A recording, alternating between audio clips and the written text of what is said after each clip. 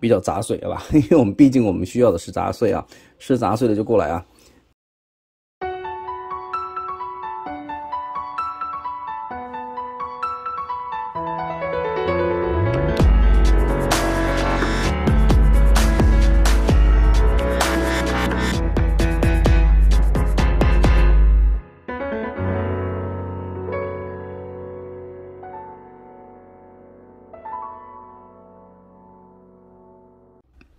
大家好，我是胡福奇社，欢迎你再次收看我的玩具开箱时间。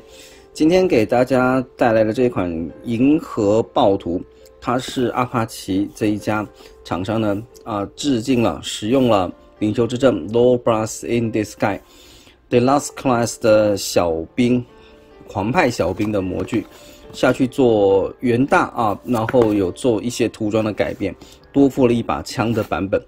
啊，这一次的话呢，体型的大小呢，完全的啊，跟先前的模具呢大小是一样的。这个两把枪的呢是这一次的一个 KO 版，这个是当初的一个原版。当时的原版呢，可以说非常的不容易买到，因为这个玩具做的比较出色啊，变形的话非常的有意思。那供货量的话呢，就也不是很多。那很明显可以看得出来，在腹部的位置啊，就是有一个铭文。那这个的话，顺便提一下，这个一二零一二年的时候，Hasbro 推出的，然后那个时候的玩具都还是大陆制啊，啊，质量的话比现在越南制会好上很多。然后前几天我看到一篇文章啊，这里有一个 C 开头，然后一零六三八，这个 C 好像是中山有利还是什么地方的代称，反正呢可以从这些铭文啊去推算出这个玩具当时的代工厂是什么位置的。然后这一次的。阿帕奇版本的话呢，是多了一把枪，左右两边的话呢，终于有一个对称的火力配置了。然后在这个地方多了一个紫色的涂装，在原本的模具上面呢是没有的。在细节上呢有一些简化。那翻到这个底部来看的话呢，也可以察觉到有一些些的不太一样吧啊。那么当然最明显是这个铭文的部分，然后轮胎的胎印啊也是有些许些许的不同。当然这些。都是可以忽略不去计算的了啊。那从正面来看的话呢，当然就是派系的标志啦。这个正版的话是有狂派的标志的。那么这一款 KO 版当然就不敢有了。滚动性的话是没什么问题啊，推车啊什么都是 OK 的。但认真说起来啊，推车的话呢，可能正版还是会再更好一点。那这个模具的话呢，呃，车型啊本身很像蝙蝠车，特别是如果你加上这两个武器的话呢，就会更像。那武器我们先拿到一旁，它的话呢，这个车型是有点凯迪拉克的一个一个一个风格在上头，然后 RID 版啊，就是所谓的这个版本，比之前的一个 F1 版的体型略小，但是变形的话呢，会更加的有趣，更加的帅气一点。那我们来看到它的一个变形过程啊，呃，首先的话呢，建议是两侧这两个手臂啊，从这个地方啊锁扣把它给解开，先往上翻上去。再来就进行一个这个腿部的这个翻折出来，那么呢，以这一款的话呢，它和正版相比的话呢，它这个地方的一个卡扣呢，啊要求比较多啊。正版的话呢，直接扯开就可以，但是这一款的话呢，它要前后错位，错开来会相对比较安全哦。你硬拔开的话呢，啊，因为它这个地方呢还有特别做一个倒钩啊。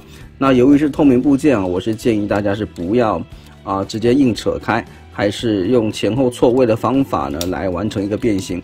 然后这些部件呢，你看得到，全部把它折叠下来，然后这里露出一个洞，啊，上方有一个凸，直接下来，把它给扣上啊就可以了。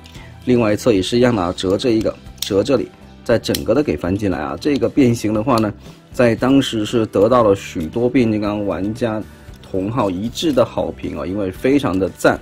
然后这个地方的话，往上一拉啊，这个头会有一个联动，自己放下来。当然你按下去，它也会自动有一个联动啊，变成人的时候就拉出来，然后推到。后方去成为它的一个背包了啊，然后手部的话呢是一个不能旋转的一个手掌，拉开之后顺势的将这个部件呢给拉出来就可以了。这边也是一样的啊，这里这里这里有一个结合卡扣，把它松开之后，将这个胳膊的话呢稍微做个简单的旋转，球形关节就把它给转出来就可以了。然后呢，就肩膀的高度的话是看个人的喜好，你是要让它下垂呢，还是让它高耸？这个完全是看你个人的偏好。高耸的话呢，感觉是比较有霸气啊。但是你如果觉得这是一个身为一个小兵的话呢，啊，你觉得他不需要那么高耸的肩膀，你要把它弄下垂一点，啊，这样看起来，啊，可能会比较比较嗯比较杂碎吧，因为我们毕竟我们需要的是杂碎啊，是杂碎的就过来啊，结果一票杂碎冲过来，对不对？那么呢，武器的话呢，就安置在手上。如果你不想放在手上的话呢，身上可以安插的地方呢，恐怕也只有肩膀这里啊。